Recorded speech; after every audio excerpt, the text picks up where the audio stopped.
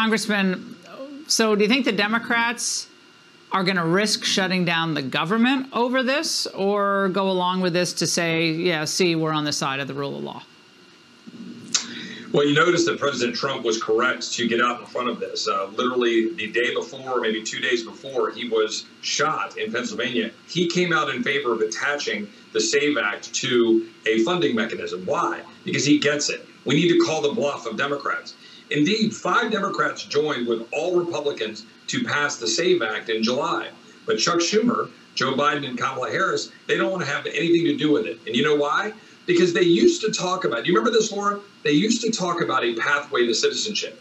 Now they don't even care. They're just blowing right past citizenship and they're saying just go to the polls and vote. Mark Kelly is lying.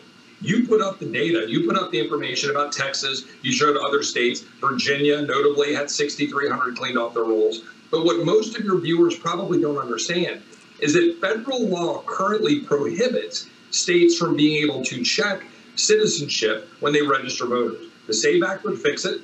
President Trump is correct to want to attach it to a funding bill in September. Mike Johnson is correct. We just now need all Republicans to get behind it and jam it down the throats of Democrats who are more interested in perpetuating their scheme of pulling in voters for Democrats than standing up for citizen only voting. Well, Elon Musk is 100% right. Anyone who does not favor showing ID to vote, a slightly different issue, but showing ID to vote is somebody who believes ineligible voters should vote. I mean, it's as simple as that. You have to use an ID to get on a plane, to do a lot of other things in this country. Uh, why shouldn't you actually show that you're a citizen of the country in some way, shape, or form to be able to vote? Uh, it, it, makes zero sense. But the media, congressmen, always want to find a way to downplay this and also tie it back to Trump. Check this out. Speaker Mike Johnson pandering to uh, former President Donald Trump as we get close to Election Day, trying to attach what Democrats are calling this poison pill, the SAVE Act, to any sort of continuing resolution. That this is uh, sort of a, a fear tactic, as, as Democrats are calling it, to try to scaremonger ahead of the November election. Congressman, your reaction to that?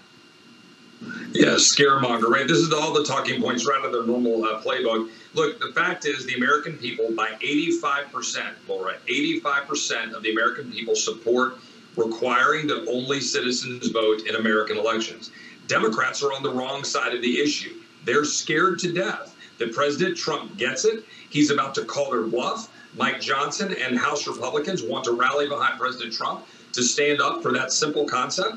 And if, if, here's my question for Mark Kelly and all these Democrats and the woman that was just on the screen. If there's no problem, if you say that there are no non citizens voting, then what are you worried about? You know what they're worried about. They're worried we'll actually stop it.